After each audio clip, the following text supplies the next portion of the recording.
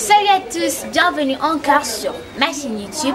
Comme vous l'avez vu, aujourd'hui je vais vous apprendre les expressions avec le mot temps.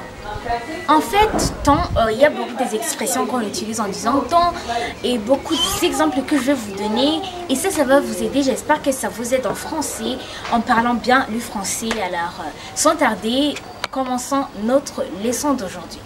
Tout d'abord, il faut savoir c'est quoi les temps. Donc, les temps, vous savez, temps, ce qui se passe ces derniers temps, tout ça. Donc, commençons notre leçon d'aujourd'hui. Les temps.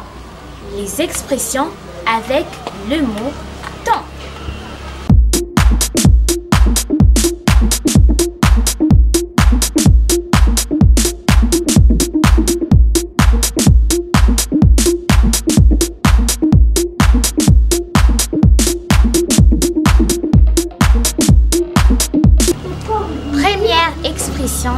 Le mot temps. Ces derniers temps. Qu'est-ce que ces derniers temps veut dire? En fait, ces derniers temps, nous l'utilisons quand nous voulons parler de quelque chose qui s'est passé il n'y a pas longtemps.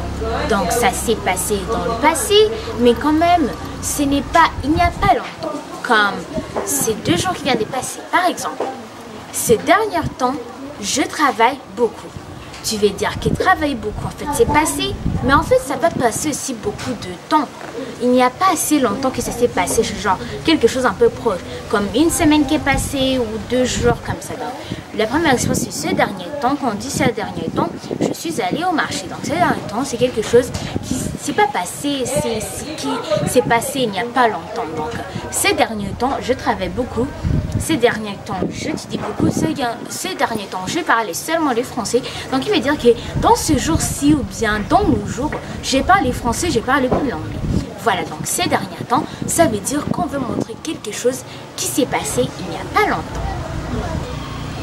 Deuxième expression, juste attends. Qu'est-ce que juste attends veut dire?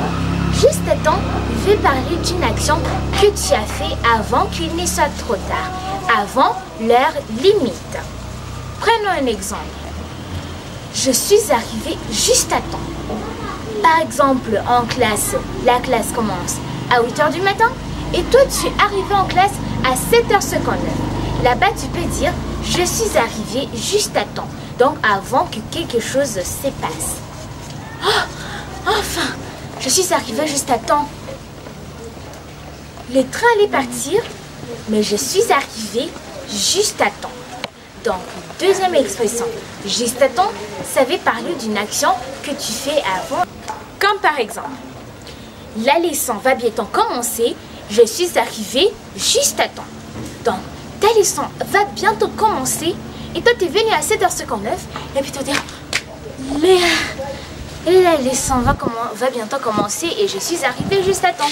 Donc, tu es, tu es avant l'heure précis, avant leur limite, avant que quelque chose se passe. C'est ça, juste à temps. Oh, tu es arrivé juste à temps pour la troisième expression. Troisième expression, et eh ben c'est il fait un temps. Qu'est-ce qu'il fait un temps Quand tu dis qu'il fait un temps, ça veut dire que le temps est désagréable.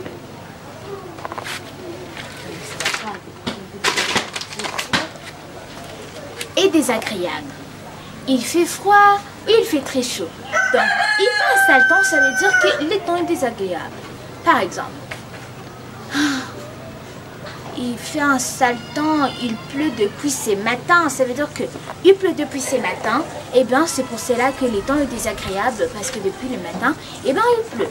Donc, au lieu de dire que euh, ce n'est pas bon, il y a beaucoup de pluie, et tu manques quoi dire, tu commences à te manger les lèvres, tu peux au moins dire, il fait un sale temps.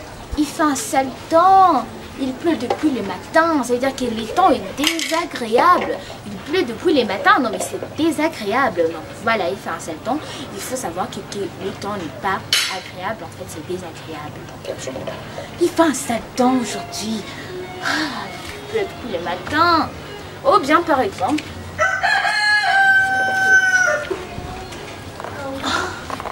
il fait un sale.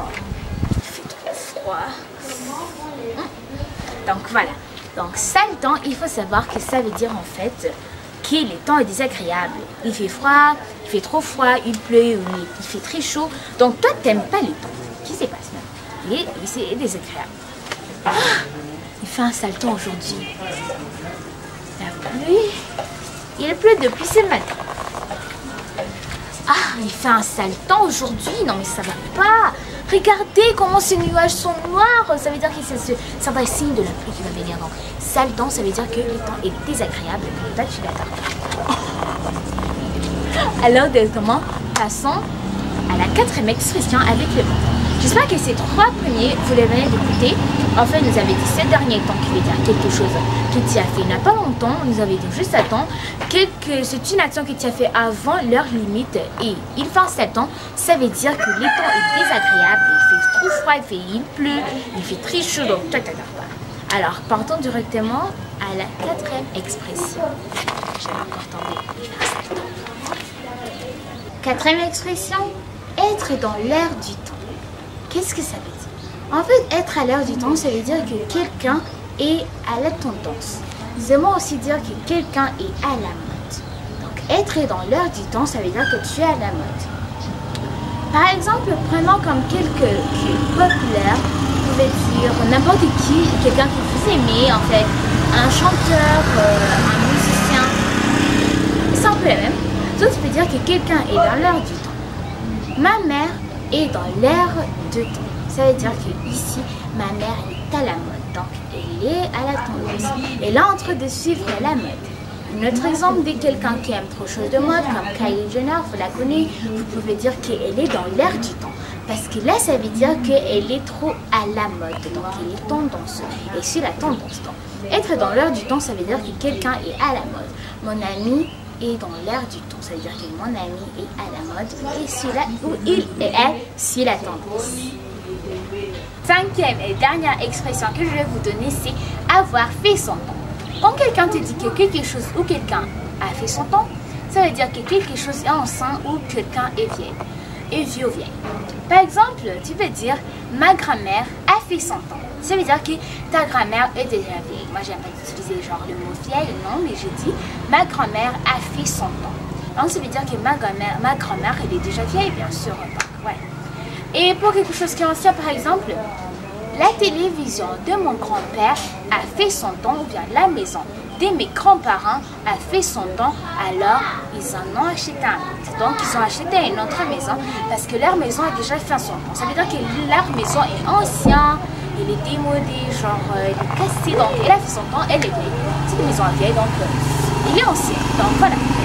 Quand quelque chose a fait son temps, ça veut dire que quelqu'un est vieux, ou quelque chose est ancien ou ancienne. Donc quelque chose sur euh, vieux, vous comprenez? Très bien. Merci d'avoir regardé cette vidéo et dans cette vidéo nous avons appris les 5 expressions en français en utilisant le montant qui sont ces derniers temps, quelque chose qui s'est passé il n'y a pas longtemps, juste à temps que une action que tu as fait avant leur, limite, temps quand les temps est désagréable, être dans l'air de temps quand quelqu'un est à la mode, et pour finir, qu'est-ce que nous avons déjà vu? Euh, Nous avons vu que avoir fait son temps quand quelqu'un ou quelque chose, quand quelqu'un est vieux ou quand quelque chose est ancien. Merci d'avoir regardé notre vidéo. Comme toujours, n'oubliez pas de lâcher un pouce bleu, de vous abonner, d'activer cette petite cloche de notification pour qu'à chaque fois, 5h du matin et 19h du soir que je mets une vidéo, vous la recevrez tout de suite. Merci, au revoir, à la fois prochaine. J'espère que ça va, ça va vous aider. Au revoir